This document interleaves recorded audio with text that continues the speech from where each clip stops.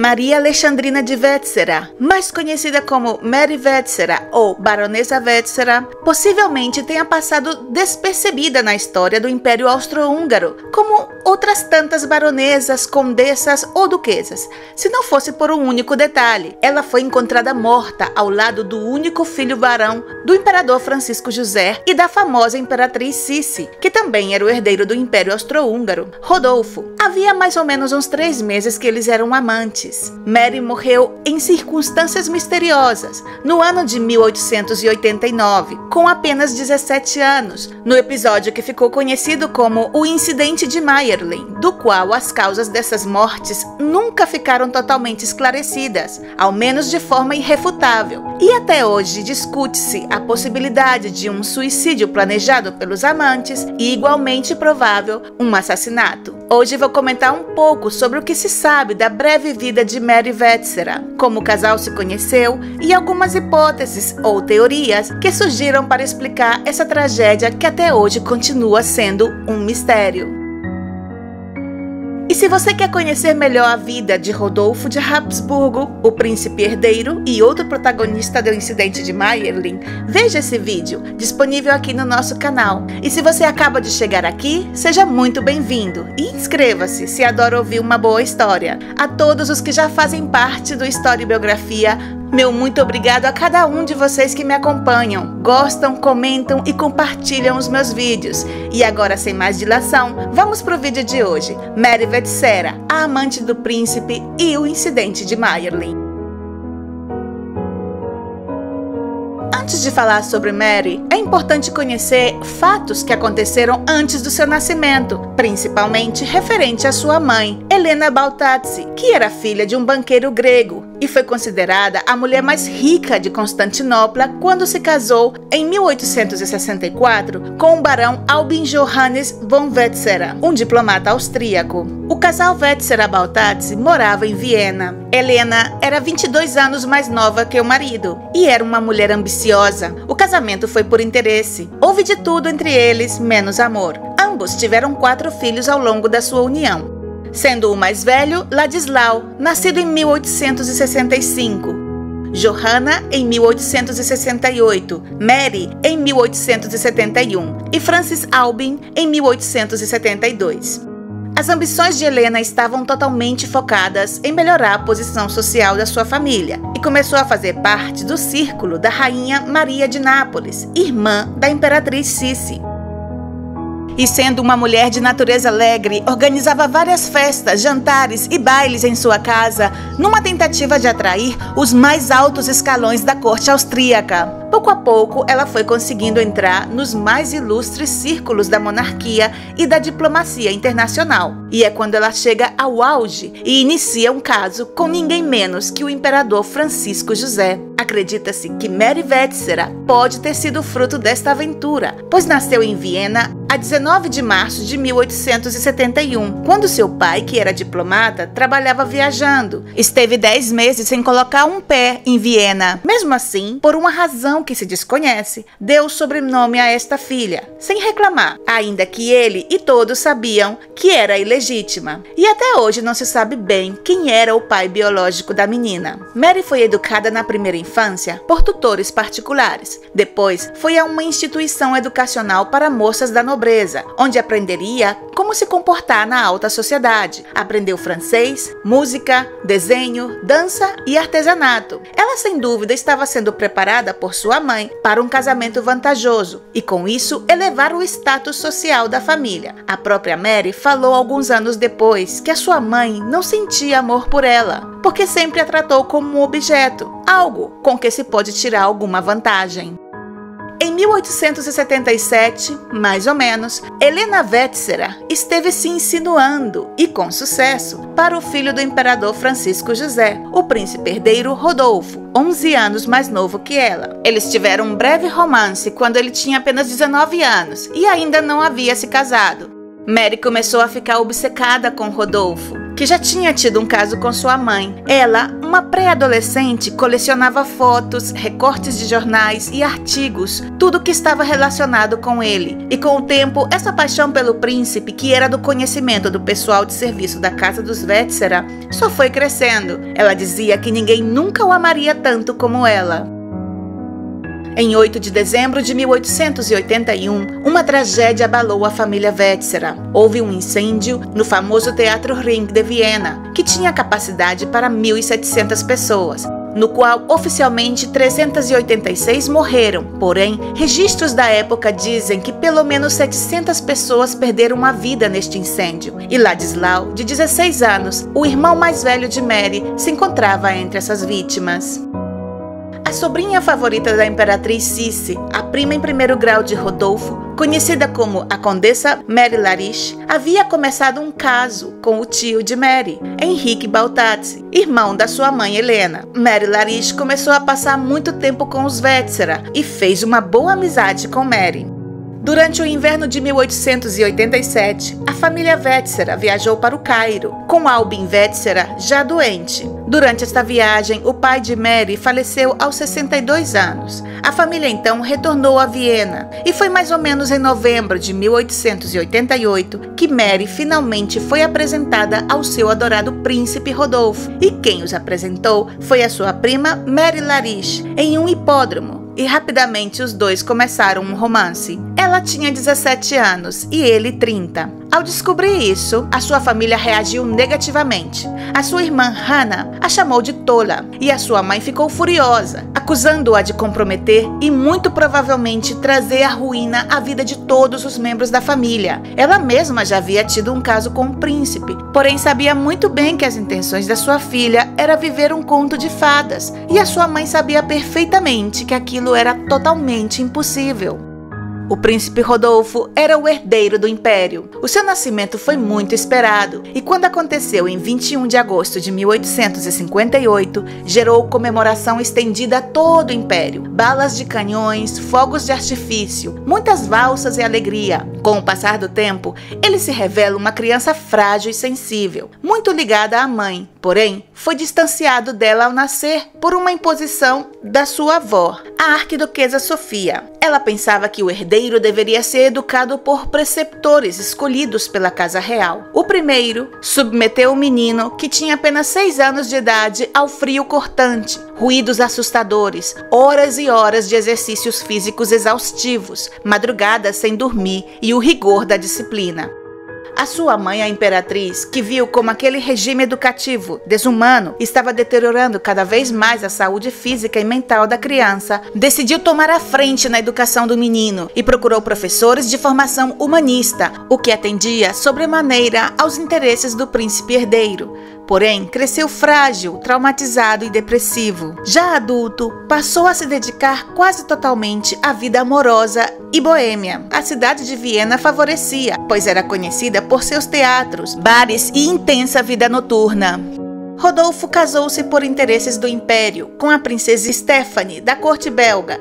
Porém, os jovens não se conheciam e, com o tempo, o amor nunca surgiu. Tiveram uma única filha, Elizabeth. Rodolfo acabou contagiando a sua esposa de uma doença venérea e ela teve que fazer um tratamento de mercúrio tão forte que a esterilizou. Ela jamais poderia dar ao império um novo herdeiro, e isso intensificou ainda mais os conflitos e discussões que Rodolfo tinha com o pai. Ele defendia ideais liberais nos artigos que publicava numa revista opositora ao imperador sob um pseudônimo. Ele se identificava mais com a sua mãe nas preferências pelo povo e a cultura húngara. O seu pai o tinha constantemente espionado pelo serviço secreto da corte. Rodolfo mantinha várias relações com várias mulheres e um caso há anos com a dançarina húngara Mitzi Kaspar, que era a sua amante favorita.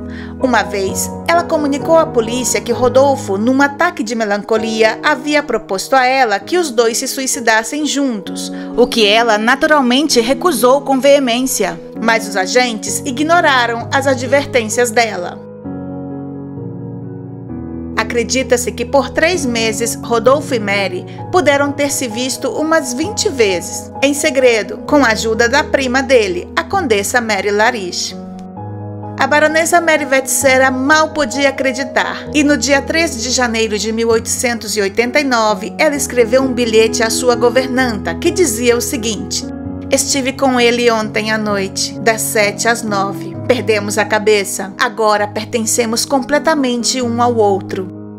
Nesse dia, Rodolfo deu a Mary um anel que continha uma sigla da frase Unidos por amor até a morte. Ele havia escrito à Santa Sede solicitando a anulação do seu casamento com a princesa Stephanie e, como esperado, foi negado. A igreja comunicou imediatamente as intenções do príncipe ao imperador, que chamou o filho para uma conversa séria. No dia 26 de janeiro de 1889, houve gritos e dizem que o imperador falou para Rodolfo que ele não era um bom filho, já que estava em contato direto com a oposição húngara. Não era um bom pai e nem um bom marido, pois estava de caso com aquela baronesa da baixa nobreza, passeando com ela por toda Viena e envergonhando a família não era um bom católico por ousar solicitar o divórcio à Santa Sede. Definitivamente não era digno de suceder-lhe e ordenou a Rodolfo que acabasse imediatamente com aquele caso extraconjugal. Mas o príncipe recusou categoricamente. No dia seguinte, 27 de janeiro, Rodolfo se encontrou com a sua prima, Mary e os dois planejaram o desaparecimento de Mary Wetzera. Na mesma noite, Rodolfo participa da festa de aniversário de Guilherme II na embaixada alemã. A princesa Stephanie o acompanha e é a última vez que ele é visto com vida em público. No dia 28 de janeiro, a condessa Lariche vai buscar Mary na sua casa e informa sua mãe que as duas vão às compras. O cocheiro de confiança de Rodolfo as espera ao lado da igreja de Santo Agostinho, perto do palácio de Hofburg. A condessa acompanha Mary Wetzera até a carruagem e se despede da amiga. Depois inventa que Mary desapareceu em frente à loja dos irmãos Rodek e imediatamente informa Helena Baltazzi do desaparecimento da sua filha. E depois vai pessoalmente informar o chefe da polícia que Mary Wetzera havia desaparecido. Poucas horas depois, Rodolfo se encontra com seu cocheiro e Mary e partem para Mayerling. Rodolfo também convidou o Conde Oios e o seu cunhado, Felipe de Sarrônia Coburgo-Gotha, para passar uns dias de caçada no pavilhão. Esses dois amigos chegaram na manhã do dia 29 de janeiro e não sabiam da presença de Mary Wetzera, que permanecia sozinha em outro quarto. Os amigos passaram um tempo juntos e notaram que Rodolfo parecia bastante distraído, distante e inquieto. Acabou fingindo um resfriado para voltar ao pavilhão. De noite, eles jantaram e o seu cunhado regressou a Viena, dizendo que voltaria ao pavilhão na manhã seguinte. O Conde Olhos ficou. Naquela noite, Rodolfo pediu ao seu ajudante, Lohan Loschek, que fechasse todas as janelas que davam para a estrada, para dar a impressão de que não havia ninguém dentro do pavilhão, e deu ordens para que ele lhe acordasse às 8 da manhã, para preparar a caçada do dia seguinte. E finalmente foi dormir com Mary. Segundo as declarações do ajudante do príncipe, ele bateu na porta de Rodolfo sem resposta às 8 da manhã do dia seguinte. Preocupado, chamou o conde Oios, dizendo que o príncipe não abria a porta, e foi naquele momento que o conde soube que Mary estava no no pavilhão. Nesse instante, aparece o seu cunhado, Felipe, que acaba de voltar de Viena. Os três homens forçaram a porta. Loschek a arrombou com um machado. O quarto estava às escuras. Rodolfo encontrava-se sentado, imóvel, ao lado da cama, inclinado para frente e sangrando pela boca. Na mesa da cabeceira havia um copo. Na cama jazia o corpo de Mary Wetzera, sem roupa. Estava pálida, fria e já bastante rígida. Loschek sugeriu que o príncipe havia sido envenenado, o que às vezes pode causar esse tipo de sangramento repentino e intenso. E essa versão errônea de que havia ocorrido um envenenamento e que a baronesa teria envenenado Rodolfo e depois se matado persistiu por algum tempo. O Conde Olhos não viu os corpos de perto, mas rapidamente foi para Viena. Ele procurou o ajudante do imperador e pediu-lhe que transmitisse a terrível notícia ao soberano. O sufocante protocolo que regia cada passo dado em Hofburg prevaleceu, inclusive naquele momento, já que o ajudante do imperador, que era conde, protestou, dizendo que somente a imperatriz poderia dar tão catastrófica notícia ao imperador. Então eles procuraram o barão Nopsa, ajudante da imperatriz, para se encarregar da tarefa de dar a terrível notícia a ela. Mas este preferiu falar antes com a condessa Ida von Ferenc, a dama de companhia favorita da Cis, como Sua Majestade deveria ser informada do ocorrido. Elizabeth estava tendo aulas de grego e ficou impaciente.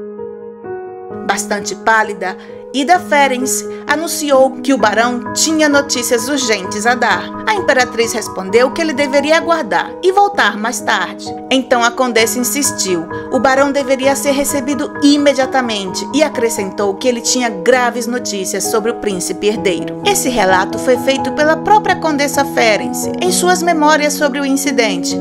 A condessa entrou novamente na sala onde encontrou a imperatriz bastante abalada e chorando incontrolavelmente. Neste momento, o imperador chega aos aposentos da imperatriz, mas foi obrigada a aguardar do lado de fora, junto com o barão, que fazia um visível esforço para se controlar. Elizabeth finalmente deu a notícia ao seu marido em particular, e ele deixou o local completamente devastado. Imediatamente, o imperador convocou os serviços de segurança nacional, que isolou o pavilhão de caça e toda a área ao redor. O corpo de Mary Wetzera foi enterrado o mais rápido possível, sem inquérito e em segredo. A família imperial, a corte e aparentemente até mesmo a mãe de Mary acreditaram na versão do envenenamento. Às seis da manhã do dia 31, o médico Weiderhofer chefe da equipe que fez autópsia no corpo do príncipe, encaminhou um relatório ao imperador com a suposta versão oficial dos fatos e foi publicado naquele mesmo dia o seguinte comunicado: Sua Alteza Imperial e Real, o príncipe herdeiro, arquiduque Rodolfo, morreu ontem em sua residência de caça de Mayerling, próximo a Baden, pela ruptura de um aneurisma no coração. Mas a notícia já havia se espalhado. Todos falavam do envenenamento e agora uma versão oficial totalmente diferente. Imediatamente se levantou a suspeita de que a amante de Rodolfo estava implicada em sua morte. E a imprensa começou a se perguntar: onde está o laudo oficial dessa autópsia? Jornalistas e correspondentes estrangeiros dirigiram-se a Mayerling. A primeira versão oficial sobre um ataque cardíaco foi rapidamente abandonada era insustentável. Então, o palácio decidiu anunciar que, enquanto o arquiduque encontrava-se mentalmente desequilibrado, ao não poder continuar com a sua amada, fez um pacto de suicídio com ela. Rodolfo atirou na baronesa e, em seguida, deu um tiro na cabeça a polícia encerrou as investigações com uma surpreendente rapidez, em resposta aos desejos do imperador. Francisco José fez de tudo o que pôde para obter a autorização da igreja para que Rodolfo pudesse ser enterrado na cripta imperial. Algo que seria impossível devido ao fato do arquiduque ter cometido assassinato e suicídio. A dispensa especial foi obtida a partir do Vaticano, que declarou que Rodolfo encontrava-se em estado de desequilíbrio mental permitindo que ele fosse sepultado na Igreja dos Capuchinhos em Viena, junto a outros 137 Habsburgos. Enquanto Rodolfo foi enterrado com toda a pompa e honra na cripta imperial, Mary, que havia sido vestida às pressas, foi retirada clandestinamente do pavilhão por dois tios, que tiveram inclusive que amarrar um cabo de madeira nas costas dela para ir sentada na carruagem, para que aparentasse estar viva. O seu corpo foi depositado em uma caixa de madeira simples, feita às pressas, e enterrado num pequeno cemitério adjacente a uma abadia no distrito de Baden. Três meses e meio depois, em 16 de maio de 1889, foi que a baronesa Helena Baltazzi abriu o túmulo da sua filha e a enterrou em outro local no mesmo cemitério. A caixa simples de madeira foi substituída por um caixão de cobre e a família fez uma cerimônia e erigiu um pequeno monumento. Após este incidente, o sobrenome Wetzera perdeu toda a sua reputação e, portanto, todos os membros da família foram considerados presença não grata nos círculos aristocráticos e acabou na ruína após a Primeira Guerra Mundial. A condessa Mary Lariche, a prima de Rodolfo e sobrinha favorita da imperatriz Cici, caiu em desgraça por ter ajudado o casal nos seus encontros. Ela foi exilada da corte austríaca pela sua tia, perdendo todos os favores desta, e foi obrigada a se mudar para a Baviera. A morte do príncipe herdeiro Rodolfo provocou de imediato uma crise dinástica. Sendo o único filho varão do imperador Francisco José I, o herdeiro presuntivo da coroa do Império Austro-Húngaro passou a ser o arquiduque Carlos Luís, irmão do imperador. Este, por sua vez, renunciou aos seus direitos em favor do seu filho mais velho, o arquiduque Francisco Fernando, cujo assassinato em Sarajevo iria precipitar a eclosão da Primeira Guerra Mundial.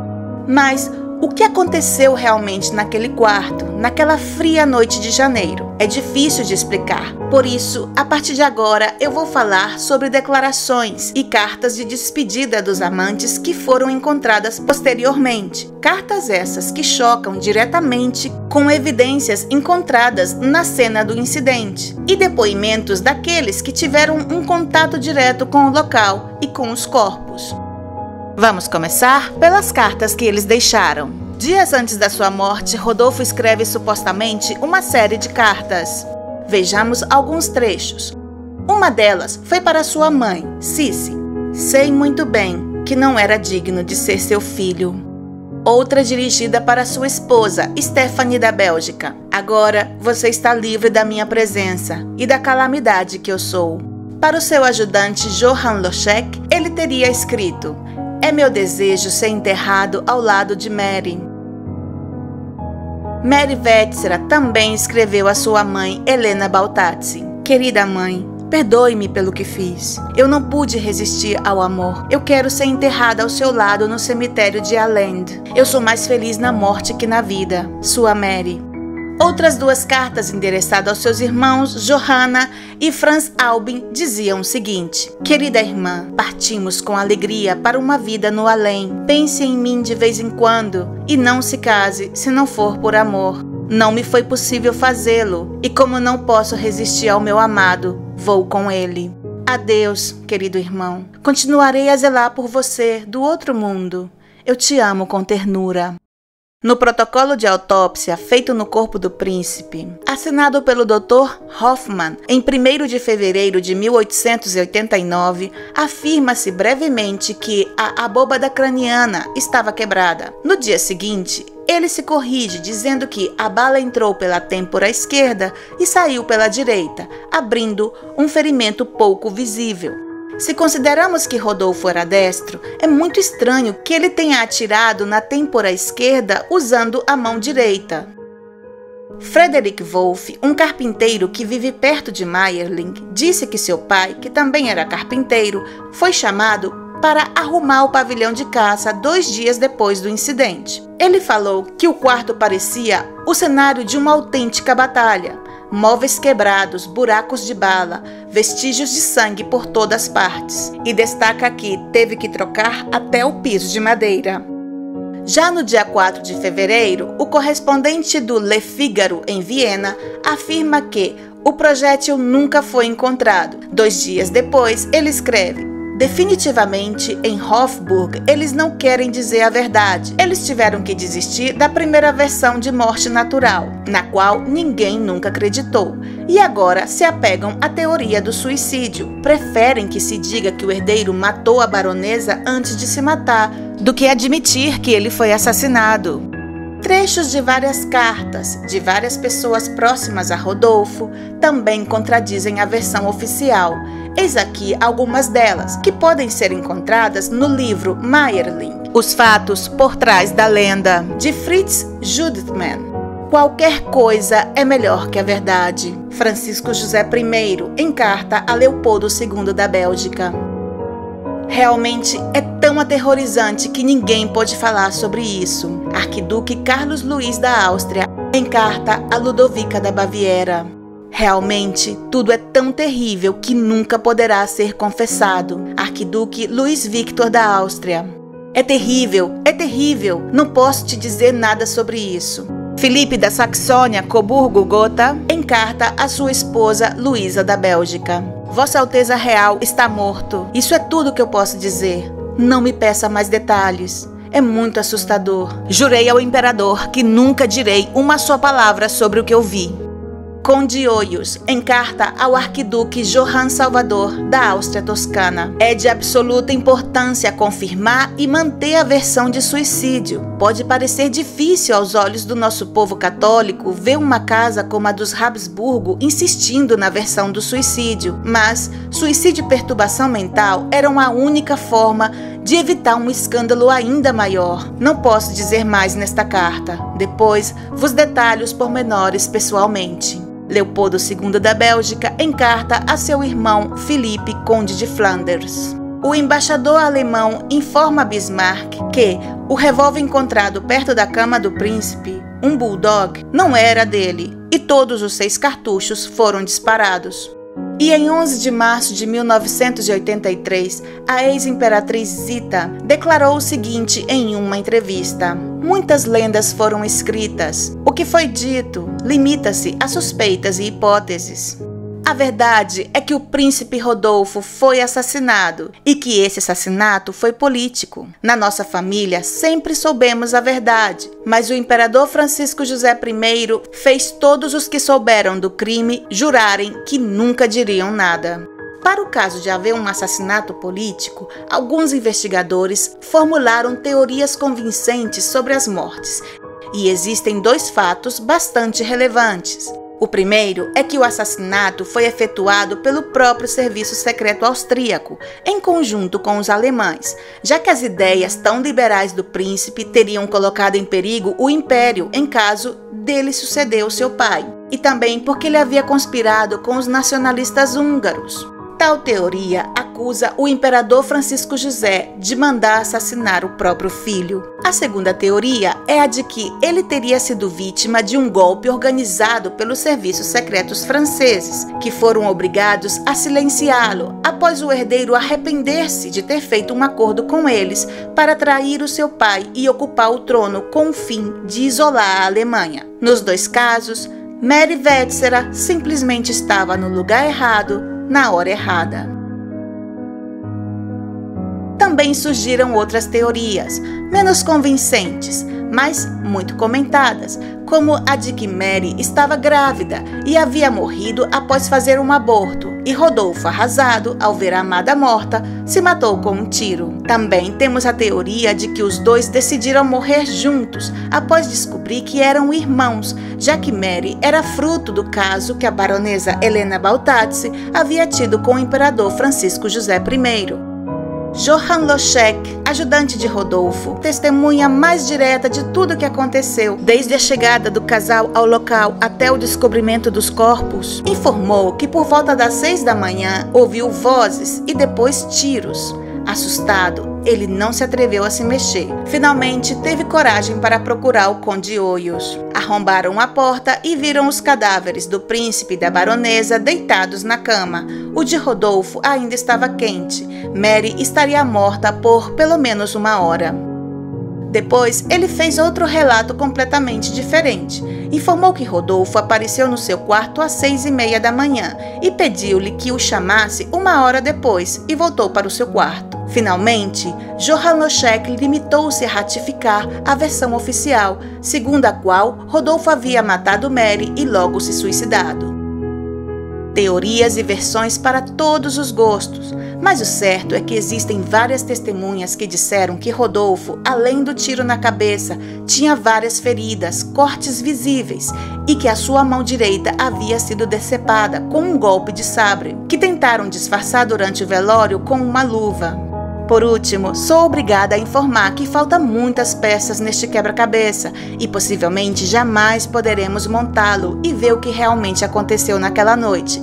Mas uma coisa eu posso dizer com certeza: enquanto o corpo de Rodolfo descansa imperturbavelmente há 133 anos na cripta imperial dos Capuchinhos, o corpo de Mary Wetzera passou por uma autêntica odisseia. Em 1946, as tropas soviéticas de ocupação abriram o caixão da baronesa, depois que caiu uma bomba em cima da placa de granito que cobria o túmulo. Aparentemente, eles queriam saquear suas joias. Em 1959, inspecionaram seus restos mortais. Um médico examinou cuidadosamente o crânio e outros ossos em busca de vestígios de buracos de bala, mas declarou não ter encontrado nenhuma evidência. Já em 1991, os restos de Mary Vetsera foram novamente exumados, desta vez por um comerciante de móveis, que era obcecado pelo caso Meyerling. Ele removeu os ossos da tumba clandestinamente e pagou por uma perícia particular em fevereiro de 1993. Ele disse aos peritos que os restos mortais eram de um familiar morto cerca de 100 anos atrás, com um tiro na cabeça ou possivelmente esfaqueado. Os peritos verificaram os restos que mostravam uma grande área de trauma no crânio, indicando que a morte teria sido produzida por um forte golpe, o que sustentaria a versão de que ela não havia sido baleada. Ao saber disso, o comerciante procurou um jornalista para tentar vender tanto a história quanto o esqueleto de Mary. Após um exame que comprovou que os restos mortais pertenciam à jovem, ele foi processado e condenado a pagar 2 mil euros à abadia a título de danos. Os restos mortais de Mary Wetzera foram novamente enterrados em seu túmulo original em outubro de 1993, dessa vez devidamente protegido e lacrado com vários reforços para que possa por fim descansar de uma vez por todas em sua última morada.